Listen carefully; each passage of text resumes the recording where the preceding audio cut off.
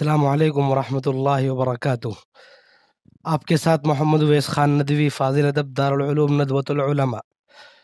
ہمارے YouTube channel on line عربی سیکھے میں آپ کا استقبال ہے۔ آپ کو معلوم ہے کہ ہم اپنے اس چینل پر عربی گرامر اور عربی لٹریچر دونوں سکھاتے ہیں۔ تو آج کا ہمارا یہ سب عربی لٹریچر کے سلسلے میں ہے۔ اس میں ہم ترجمہ کرنا سیکھتے ہیں۔ کہ عربی سے اردو میں ترجمہ کیسے کیا جاتا ہے؟ تو ہمارا چوتھا لیسن چل رہا ہے قصص النبیین کتاب کا۔ اس کتاب کا لنک آپ کو ڈسکرپشن میں مل جائے گا۔ وہاں سے آپ یہ کتاب ڈاؤن لوڈ کر لیجیے۔ تو ہم ترجمہ کر لیتے ہیں۔ خاص بات یہ ہے کہ ہم جتنے بھی ورڈ میننگ یہاں پر آئیں گے، وہ سب ڈسکرپشن میں لکھے ہوتے ہیں۔ آپ ہماری پچھلی ویڈیوز دیکھیے۔ عربی لٹریچر کی جو پچھلی ویڈیوز ہیں، سب کا ترجمہ، سب کے ورڈ میننگ آپ کو ڈسکرپشن میں لکھے ہوئے ملیں گے۔ تو ہم ترجمہ کر لیتے ہیں۔ ابراہیم یکسر الاسنام یہ جو ٹائٹل ہے ہیڈنگ ہے کہ ابراہیم علیہ السلام بتوں کو توڑتے ہیں۔ اس کا جو ہے پہلا پارٹ آ چکا ہے، یہ دوسرا پارٹ ہے۔ حضا تعام و شرابن تعام کے معنی کھانا شرابن کے معنی پانی۔ شراب کے معنی عربی میں شراب کے نہیں آتے، جو عام طور سے مشہور ہے، بلکہ شراب کے معنی عربی میں پانی کے آتے ہیں۔ کہ یہ کھانا ہے اور پانی ہے۔ اللہ تأکلون، کیا تم نہیں کھاتے؟ یہ ابراہیم علیہ السلام بتوں کے آگے رکھے ہوئے کھانے پانی کے بارے میں کہہ رہے ہیں کہ یہ کھانا ہے، یہ پانی ہے، اسے کھائیے۔ اللہ تأکلون، کیا تم نہیں کھاتے ہو؟ اللہ تشربون، کیا تم نہیں پیتے ہو؟ شریبا یشربو اکثر لوگ شریبا یشربو یاد کر لیتے ہیں۔ یہ یشربو ہے را پر زبر۔ وسکتت الاسنام، سکتا۔ سکتا کے معنی خاموش ہونا سکتا یسکتو، نوٹ کر لیجیے۔ سکتت الاسنام سکتت واحد مونس غائب کا سیغہ ہے سکت سکتا سکتو، سکتت۔ اور بت خاموش ہو گئے، خاموش رہ گئے۔ اور وہ خاموش رہتے ہی کیونکہ وہ تو پتھر گئے ہیں، بولنا بھی نہیں جانتے۔ تو اور بت خاموش رہ گئے۔ آپ نے ہمارا پچھلا سبق دیکھا ہوگا، تو آپ فوراً بتا دیں گے کہ الاسنام اوپر پیش کیوں آیا ہے۔ آپ فوراً بتا دیں گے۔ تو الاسنام اوپر پیش کیوں آیا ہے؟ کیونکہ یہ فائل بن رہا ہے۔ خاموش ہونے کا کام کس نے کیا ہے؟ بتوں نے۔ تو بت سبجیکٹ ہے اور فائل ہے۔ لِأَنَّهَا حِجَارَةٌ لَا تَنْتِقُ لِأَنَّ لِأَنَّ کے معنی اس لیے کہ لِأَنَّهَا اس لیے کہ وہ بت۔ ہاں سے مراد الاسنام۔ اس لیے کہ وہ بت حجارتن پتھر ہیں۔ لا تنتقو نتقا ینتقو کے معنی آتے ہیں بولنا، بات کرنا۔ لا تنتقو وہ بات نہیں کر سکتے۔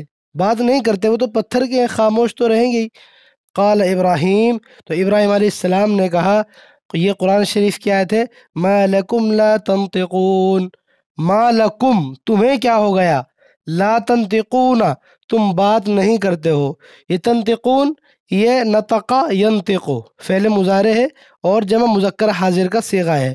کہ تمہیں کیا ہو گیا تم بات نہیں کرتے ہو؟ وسکتت الاسنام اور بت خاموش رہے، خاموش ہو گئے۔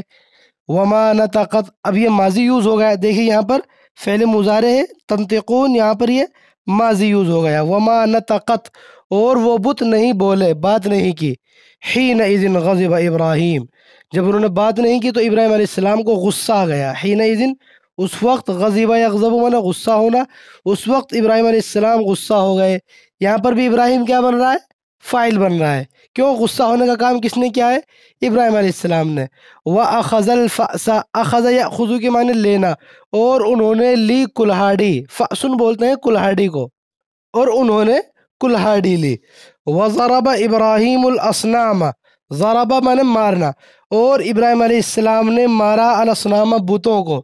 یہاں پر ایک بار پھر میں آپ کو یاد دلا دیتا ہوں کہ اگر آپ نے ہماری پچھلی ویڈیوز کو اچھی طرح سمجھائے تو آپ الاسنامہ پہ زبر کیوں ہے وہ بھی آپ بتا دیں گے، فوراً بتا دیں گے کہ اس پر زبر کیوں ہے۔ تو میں بتا دیتا ہوں کہ اس پر زبر اس لیے آیا ہے کیونکہ یہ مفعول ہے آبجیکٹ ہے۔ مارنے کا ایکشن کس پر ہو رہا ہے؟